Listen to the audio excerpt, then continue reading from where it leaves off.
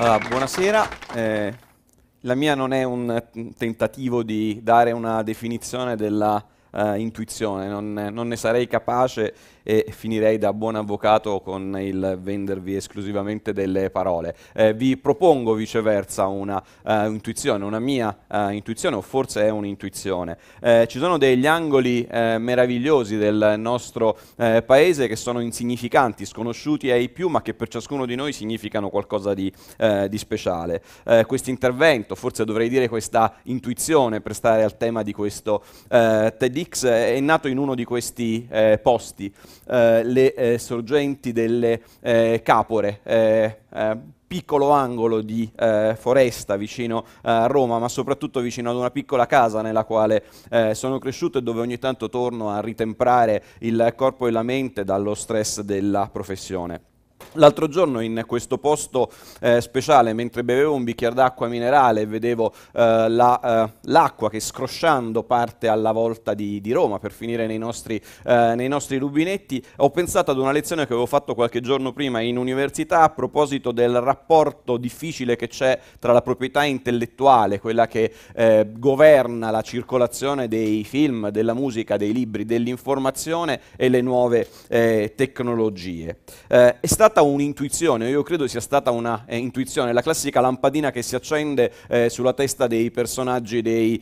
eh, dei fumetti. Eh, probabilmente anche chi di voi è dotato di una immaginazione più fervida eh, in questo momento si starà chiedendo cosa c'entra eh, l'acqua minerale con la proprietà intellettuale o più semplicemente vi starete interrogando sullo stato di salute mentale di chi vi parla e come dire non posso darvi, non posso darvi torto. vi chiedo 13 minuti o poco più di di eh, fiducia eh, per eh, vedere se questa intuizione esiste o se è stata un'allucinazione dovuta comunque eh, all'acqua minerale. Eh, per ora mi limito a dichiarare l'obiettivo e l'obiettivo è quello di suggerire che esiste un'analogia forte e prepotente tra l'acqua, la circolazione e la distribuzione delle acque minerali e quella della proprietà intellettuale e che questa analogia è così tanto forte che forse i governi e i regolatori del mondo intero che in questi anni si stanno interrogando con insistenza su come si debba fare per garantire eh, le regole migliori al diritto d'autore, ai brevetti, alla proprietà eh, intellettuale nel mondo di internet, non dovrebbero fare nient'altro che ascoltare la lezione eh, dell'acqua. Eh, in questo ragionamento probabilmente vale la pena, come suggerirebbe un buon chimico, eh, di cominciare dagli elementi e di lasciare sullo sfondo eh, le formule ed è quello che proverò che proverò a fare. Um, l'acqua eh, H2O eh, per eh, chi è eh, innamorato degli elementi costituisce il 70% del corpo umano e più o meno la stessa percentuale dell'intero, dell'intero, dell'intero pianeta. l'acqua è il principio di tutte le cose, diceva Taleite, ed era il VI secolo avanti Cristo. Non è esagerato quindi dire che l'acqua è un elemento essenziale dell'esistenza umana. Io credo che allo stesso modo ci si possa trovare tutti d'accordo nel nel eh, dire che il sapere, le arti, la musica, i film, eh, il cinema, l'informazione, eh, il sapere tutto eh, costituiscono elementi altrettanto essenziali dell'esistenza eh, umana. Cosa sarebbe la nostra esistenza senza le idee, senza l'informazione, senza eh, l'ingegno, senza la possibilità di crescere ascoltando cosa gli altri hanno da dirci o guardando cosa gli altri hanno creato attraverso il loro ingegno. Uh, una prima analogia quindi importante è che l'acqua e le idee, l'acqua e le creazioni intellettuali sono due elementi essenziali nella nostra eh, esistenza, ma acqua e creazioni intellettuali eh, sono hanno molto in più in comune perché sono entrambe straordinariamente eh, leggere, neutre, trasparenti, eppure questa eh, leggerezza, questa apparente neutralità non gli impedisce di essere forti e travolgenti al eh, tempo stesso, talvolta naturalmente in senso positivo e tal'altra in senso negativo. Eh, basti pensare all'effetto positivo di una pioggia abbondante su un campo arido e all'apertura di una uh, scuola in una zona non civilizzata del eh, paese, ma se voglio guardarla in negativo basta viceversa pensare alla irruenza e all'effetto devastante di uno tsunami e all'effetto altrettanto devastante in alcuni momenti della nostra eh, storia del diffondersi di certe eh, ideologie. Eh, l'acqua quindi come eh, le idee, l'acqua come la eh, cultura unisce e divide i, e divide i, i, i popoli, rende agevoli gli incontri, rende agevoli gli, gli, gli scambi, ma nello stesso momento può dar vita a incredibili barriere, può nutrire come non eh, nutrire, può far crescere o viceversa eh, frenare eh, lo sviluppo di, eh, taluni, ehm, di, di, taluni, di, taluni, pensieri, di talune, di talune idee. Sin qui per quanto riguarda eh, gli elementi, eh, ma le analogie, le vicinanze eh, concettuali tra l'acqua e le eh, idee divengono ancora più importanti se prendiamo l'acqua, le idee, le creazioni intellettuali e le caliamo eh, in una eh, dimensione dinamica e invece non, non, più, non più statica, perché scopriamo così che entrambi gli elementi eh, sono presenti nell'universo in una eh, dimensione enorme, ma in apparente contraddizione rispetto a quella che è una regola economica a portata di eh, avvocato, e cioè quella che un'alta eh, offerta, la presenza di un'alta offerta dovrebbe rendere eh, basso, bassissimo il valore del bene, viceversa tanto l'acqua eh, quanto le creazioni intellettuali hanno dato vita a dei mercati che ormai valgono miliardi e miliardi di, di, euro. E, e ci si avvede anche anche che acqua ed idee, eh, pur essendo a portata di mano di tutti, costituiscono e hanno costituito nel tempo in realtà appannaggio esclusivo eh, di pochi. Penso alle eh, grandi eh, società distributrici di eh, acqua eh, minerale, penso alle grandi etichette dell'audiovisivo, le major del, dell'audio, dell'audiovisivo. ma le analogie non finiscono qui perché in realtà entrambi i mercati, proprio grazie alle nuove tecnologie, a tecnologie naturalmente diverse, sono negli anni diventati assolutamente assolutamente globali. Eh, l'acqua eh, Evian eh, che eh, sgorga a, eh, sulle, eh, nelle, nelle, insorgenti francesi si ritrova sulle scrivanie dell'intero continente asiatico, così come negli Stati Uniti d'America e, e, i film prodotti a Hollywood ormai attraversano attraverso la fibra ottica gli oceani e finiscono dentro, le, nostre, dentro le, nostre, le nostre case. E sempre per stare alle analogie tra l'acqua e le creazioni eh, intellettuali, ce n'è un'altra eh, drammaticamente importante. Un giro dentro un supermercato e un giro dentro uno store, una libreria eh, o piuttosto un negozio di CD e di DVD cosa ci racconta? Eh, ci eh, racconta che in realtà ormai quello che conta di più è la eh, confezione, il packaging, è il marketing, che scegliamo un prodotto, che si tratti di una bottiglia di acqua minerale o che viceversa si tratti eh, di un eh, contenuto creativo molto e soprattutto sulla base di come quel prodotto eh, viene confezionato, ci viene, eh, ci viene, proposto. Ci lasciamo abbagliare dalla forma e mi vengono in eh, mente, pensando a questa analogia, le parole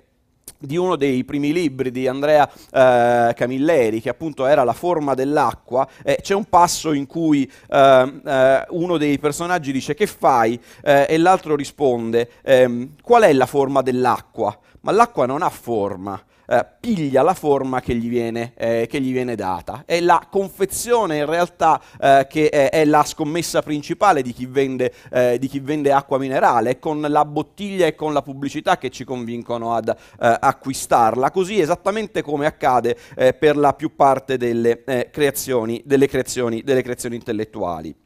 E allora, eh, se ci sono così tante analogie, eh, l'esercizio che ho fatto e l'esercizio che vi eh, propongo per tranquillizzarvi, come dire, condivido eh, il fatto che mancano al verde 5 minuti e 53 eh, secondi e che poi il rosso lascia poco eh, spazio in più per, per concludere. Ma la, la, mia idea è semplicemente quella di pensare cosa accadrebbe domani mattina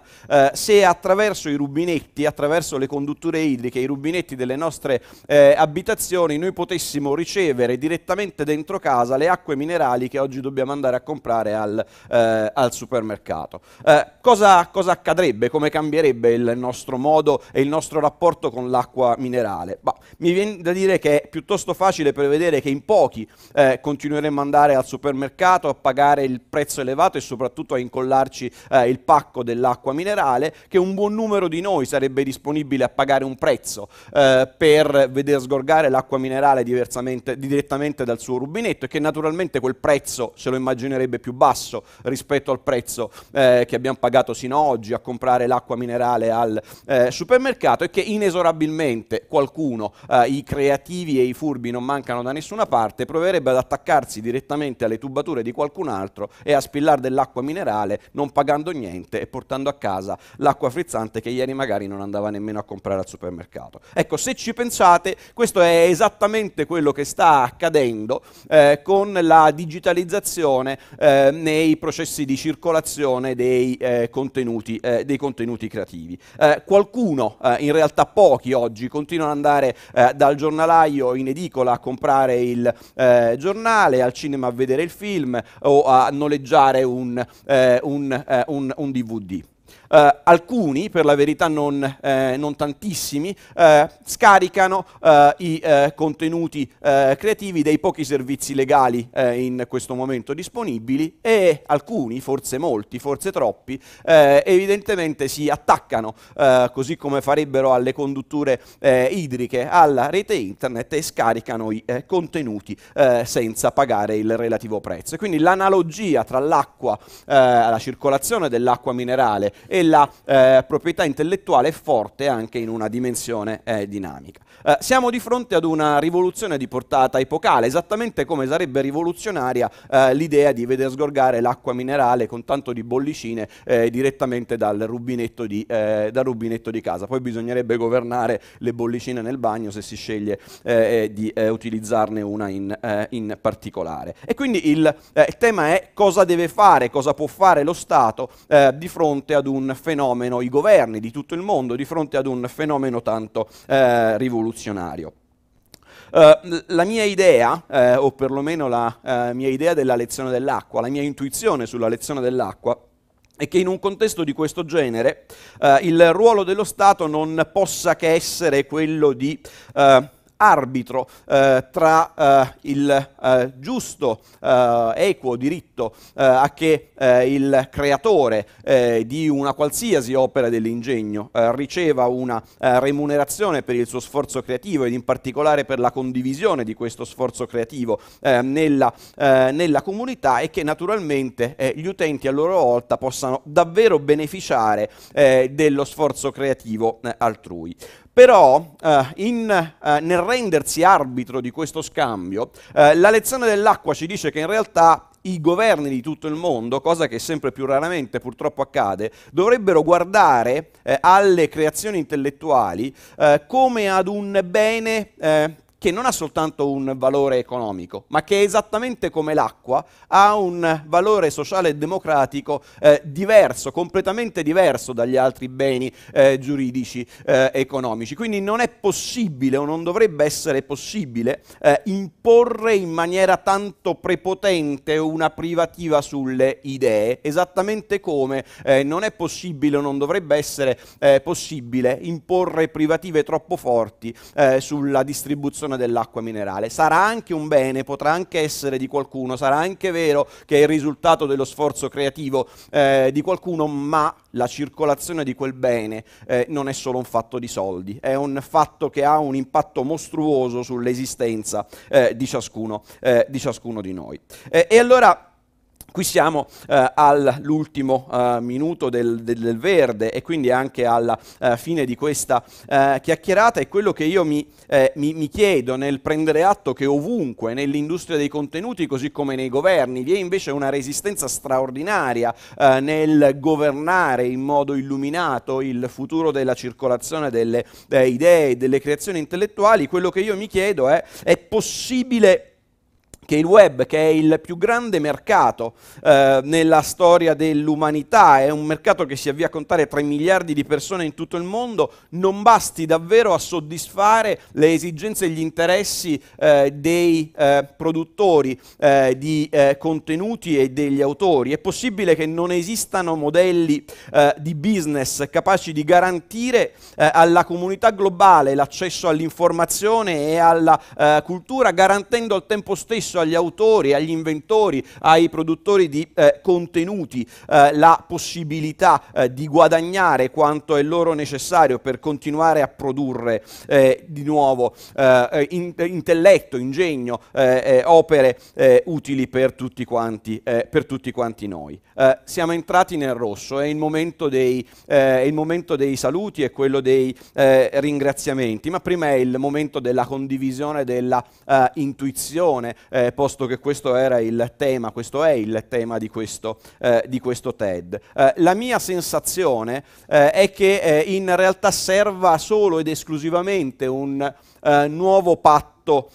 sociale, nel quale gli stati dovrebbero farsi promotori e garanti terzi, severi, senza lasciarsi tirare però dalla giacchetta da nessun tipo di eh, interesse eh, politico ed economico di questo scambio di utilità, eh, quello che l'autore e l'inventore mette a disposizione della eh, collettività e la remunerazione che il singolo garantisce eh, all'inventore, all'inventore, stesso. E allora il messaggio nella eh, bottiglia e l'auspicio che condividendo con voi questa intuizione vorrei affidare alle correnti della rete rete è che nel mercato della proprietà intellettuale si possa presto assistere ad uno stemperamento dei toni, che quelli che oggi sembrano acerrimi nemici, i eh, produttori, gli autori, gli inventori e i fruitori eh, di informazione e cultura possano riscoprirsi per quello che sono eh, davvero, cioè appartenenti ad una stessa eh, ed identica, eh, ed identica eh, comunità. studiare la lezione dell'acqua,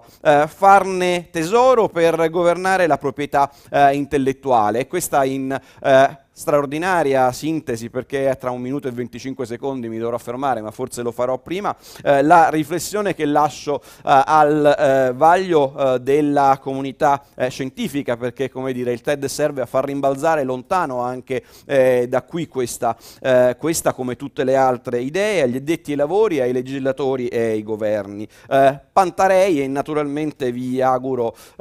buona prosecuzione auguro buona fortuna al futuro e attraverso verso il futuro auguro buona fortuna a noi stessi.